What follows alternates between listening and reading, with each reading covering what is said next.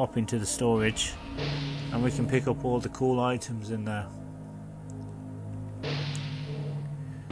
Check it out, we got handgun bullets. There's one set there. Acid rounds. Alright, let's get the other set of handgun bullets. And the creme de la creme is just over here. Let me reload my gun. The side pack. Again, the game won't penalise you for using the side pack, so feel free to pick it up if you need it. I would recommend it because you want to make things easy for yourself. Okay, so she's just equipping it now. So we now have two extra spaces in our inventory. So with that being done, we're going to head up to the surface. We're going to use the club key, get some more ammunition, and then we're going to pick up the final puzzle pieces and prepare for the first uh, boss of the game. Again, I'm not going to give it away. It's all going to unfold naturally. But at least I'm kind of at the danger area now.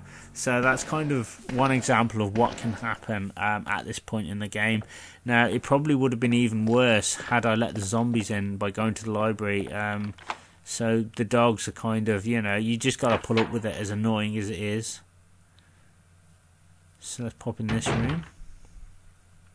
So I don't know what the differences are between this and Leon's room. Right, there doesn't seem to be anything in the lockers at all.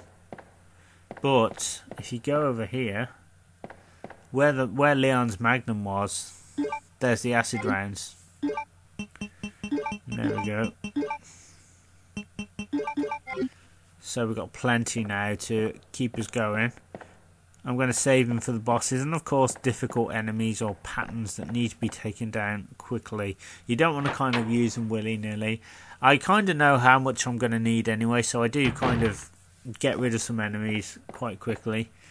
But yeah, you don't want to kind of waste it all. Even though it seems like this game does throw you a lot of ammo, and it does, you have to kind of manage it effectively. And I've, I've said it before, I'll say it again, it's always best to have more ammo than you need than kind of none at all. It can, the, the easier you pick it up, the easier you can kind of lose it. That's kind of my rule.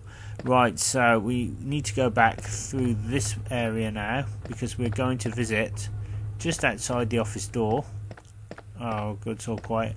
Now, um, yeah, check out what happens when I go through. Now, remember the zombie pattern in the A scenario? It's much harder on the B scenario. Look, look how the zombies are positioned, so you want to quickly manoeuvre out of the way. Oh, there you go. And just sort of aim for the phones there. And just get get out of the zombies way. And there's another one lurking just there. So yeah, very, very devious. So I've got another green herb, so once I take out the zombie patterns, I'm to use the herb and get it full health. So yeah, I, I can afford to use a few acid rounds on them. It just ensures that it gets them out of the way a lot quicker. And there we are. Let's use that herb now. And there we are. We're back up to full speed now. We're absolutely fine. Um, I don't think there's any zombies in this area now anyway, so we should have a clear run. Shouldn't be any problems. Right, let's just get my gun out just in case I'm wrong. Right, does seem pretty empty. Right, turn around this way. And straight ahead, you'll see the first door. You want to go in here and discard your diamond key. It gets it, gets rid of it essentially, gives you a free space. Though why you would want to keep your keys and stuff, I'll never know. I don't know why it asks you. Why doesn't it just say this key is no longer needed? Like in Alone in the Dark. That would be useful. Right, there's the Eagle Stone. And don't worry, we will be picking up all the stones. It, it, seems like we haven't been picking them up, I know, but trust me, we need to do all that in order to pick them up. Um, it's. I think this game gives you way too many things to think about. Like, I think the first instinct is, oh my god, I need to pick up the stones. Don't worry, it will all kind of unfold naturally. You do get them quite easily, I think, even though everything's kind of moved around a little bit. Right, it's the same thing in this room, the same puzzle. We need to light the furnace, which is why I kept the lighter on me, because I know I'm going to forget and it goes middle, which is 12, right, which is 13, and left, which is 11. And the cogwheel falls off the wall. Okay, don't panic. Whatever you do, don't panic. Just run away from him. Head to the left, pick up the cogwheel, like so. Now immediately leave the room. Just pretend he's not there. Tra la la la la, lovely stroll in the Raccoon City Police Department, isn't this fun? Best thing is just run away from him. It's not worth it. Overgrown Uncle Fester. Right, so we're going to just position ourselves this way. And we're going to head back now to the landing area. Oh, and here he is again. Johnny come lately. He really doesn't like Claire. But just run past him. And there you go. He does that double axe handle thing. That's when you know you can run past. He's really not a threat. You know, once you know his kind of patterns, it's easy to be intimidated and bullied by him. But that's kind of all he does, really. He's a pussycat underneath. He's like a giant kind of, you know, giant teddy bear. anyway, head out through here. We're going to head into a save room, I think, or, or find some healing items and just heal and then head to the top because uh, I'm not in a good position. I've taken too much damage. Uh, one reason is there's a licker now has appeared on the landing and uh, I kind of have a lot of bad luck when I'm up there on that particular landing so I'm not taking any chances so I'm going to fully heal myself. It will also give me um, the correct amount of speed I need to run away from it because if I'm too slow that licker will catch me. Uh, let me see, we'll put my lighter away. Need the crank. Uh, let me see, we'll use a herb. Oh, you know what? I think I might be able to put all the other stones in here maybe. Oh god, I can't find them now. Oh, I say that stone and Okay, was that it?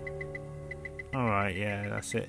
Yeah, there was a red serpent stone in the other half of the blue stone, but that's all upstairs. It took me a while to kind of think through uh, what that was. I, I honestly, at this point, I thought I'd missed some stones. You know, probably like newcomers coming to this game thinking, oh, the stones I've missed, that's what I felt. But you don't. If you do all that, you won't miss any stones. Uh, you sort of have to do that in order to pick them up. So now I'm going to go into the library. It's safe to do it now because we won't be visiting these areas again. You will see zombies break through uh, downstairs and in various places we've already been, but we won't need to go back to those areas again. So we're absolutely safe. That's why I said go to the library last. Oh, look at that licker. He wants a piece of me. It's not going to happen there, kid.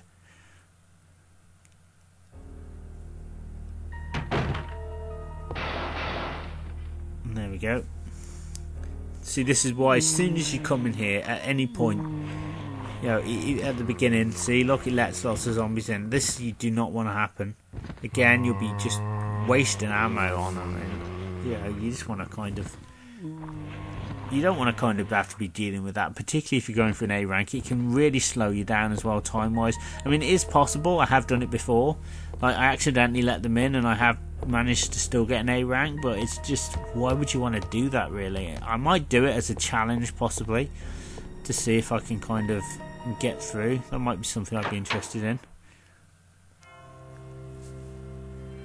But anyway, um, we need to go across here and into this room. So you'll remember this room from Leon's run and my Claire B fun run. Essentially, we need to put the crank in to lower some stairs, and we need to put the cogwheel onto a mechanism up above, and that will open a door.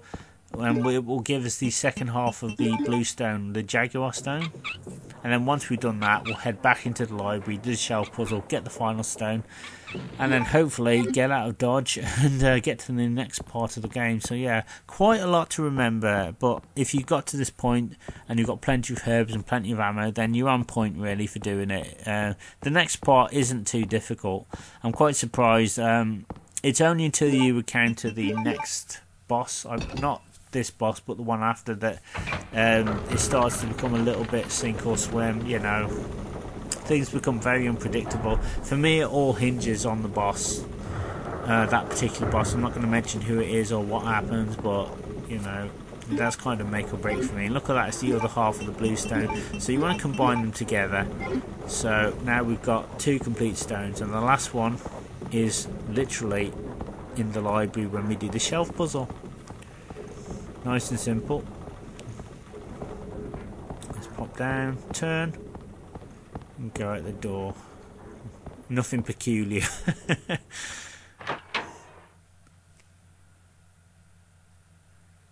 right, let's head on back to the library now. Oh my god. Holy crap. Yeah. Here he comes again. He just will not leave Claire alone. What am I going to do? Well, absolutely nothing. I'm going to let him clothesline me and I'm just going to run past him. Waste of time. So yeah, that will save you truckloads of ammo just running away from him. He's not worth the effort. And then just run over here and we fall through the floor.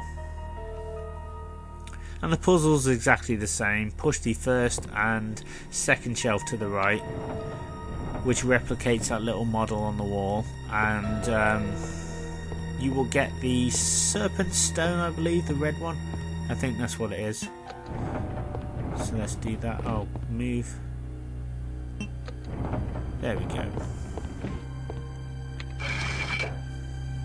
So we now have all three stones, so we're ready to progress now. We need to do some prep for the boss, but yeah, we're doing pretty well. It's all good. And we should be meeting up with Sherry as well, possibly, I don't know. She kind of does her own thing. Right, go through the door, double doors. Right, I think I might have to take out this licker. I don't know. Have to come back this way. Let's see if I can do it.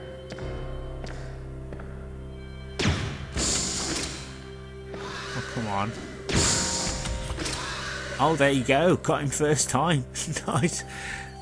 Well, I missed a shot, but you know, bloody hell, he, he went for his death strike and I just nailed him. And that is how you do it. So we're going to head back into the helicopter wreckage now and in Chief Irons' office. If we don't do all this, then we won't be able to get into the office at all and use the stone. So that's kind of why we, we did all that. This is kind of part of the game. Right, now let's see. I need to prep for the boss, so I might as well put my handgun away. You're not going to need it really.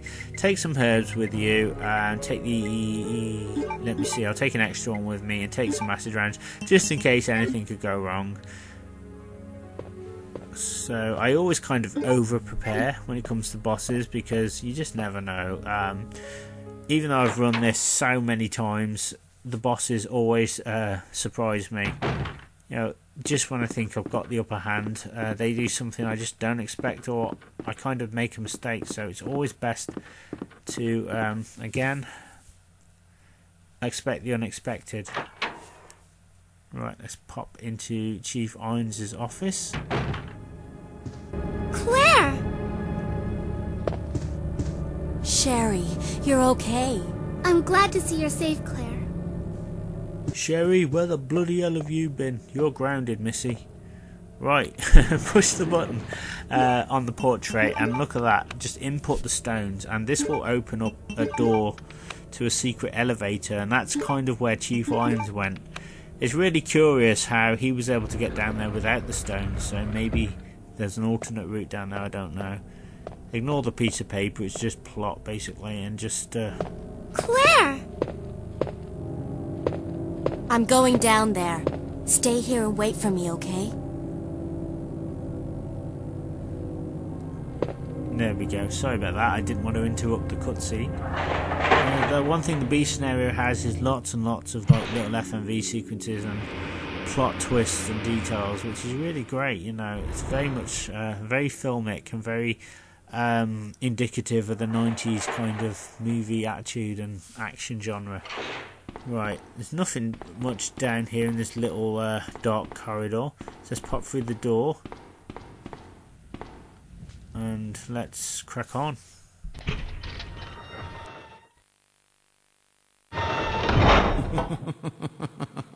so you've made it this far. Not bad, girl. But I'm not letting anyone leave my town. Everyone's gonna die. Calm down, Chief. What happened? Shut up! You couldn't possibly understand what's happened. Those monsters from Umbrella have destroyed my beautiful town. How could they do that to me after everything I've done for them? So it's true. You have been working with Umbrella. Then you must know about the G-Virus. What is it? Tell me! If you must know, it's the agent that can turn humans into the ultimate bioweapons. Superior to the T-Virus in every way. Dr. William Birkin is the genius behind the project. William Birkin. I'm sure you've already seen his little girl running around here somewhere. Sherry, isn't it? In case you haven't already figured it out, the monster that's been tearing my precinct apart is yet another product of the G virus. An ultimate bioweapon. Umbrella must be trying to cover its tracks. But if I have to go, I'm going to take you with me. What the?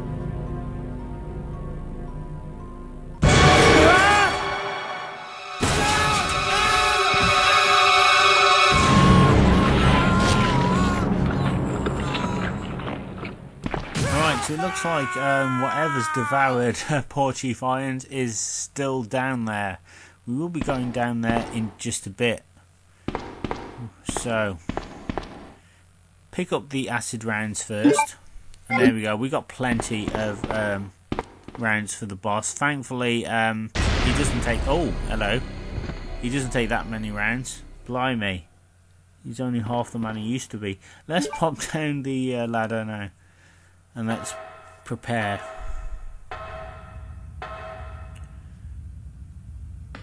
Here we go. Here it is, guys. And check it out. Now, it looks like a super zombie with um, incredible strength. That was my first thought. But apparently, uh, this guy is William Birkin, uh, Sherry's dad, the guy that's been chasing her throughout the station. Um, luckily, he's very easy to take down if you have acid rounds. So wait for him to grow a new eye on his arm, like you do. And just basically wait for him to roar, wait for the cutscene to finish, and then just throw everything at him. Fire once, fire twice, fire three times, four times, five times, and then you want to run out of the way because the fight's over, the music stops. And there you go. He just falls over the railing. Now let's go back and get Sherry. So yeah, it's really simple as that. So I, I just over prepared there because I guarantee most of the time he knocks me out the way with the pipe. And that's probably the first time that I've ever been able to do this without him knocking me out. I may have done it as a kid, but uh, I'll probably rephrase it. It's probably a long time since he's not been able to hurt me. So I haven't used any herbs, which means I'm, I'm a little bit ahead uh, when it comes to that. So there's even more herbs as well to pick up where we're going. So all we've got to do is go back and get Sherry. Now Sherry's going to be with us on and off a little bit in the next part of the adventure. Now, as much as I love Sherry, uh, she's one of my favourite characters in the game. Um, she does kind of sit down a little bit when you want to be moving on, and the game always reminds you you have to look after Sherry, you have to go back and get her, which is all very well and good. But I'm kind Claire, of on the clock here. you came back. You know, it's just one of those things you kind of have to do. Um, it's nice. It's a nice touch because it shows that the developers care that it's a child. But yeah, What's I'm kind of wrong, like, oh, Claire? just hurry up, Sherry. It's Luckily, um, but I think it's I found a way not out of too here. kind of We should be able to find someplace safe times. if we can just make it out of town. But Don't worry, I'll protect you. I promise. But you have to make sure you don't leave my side.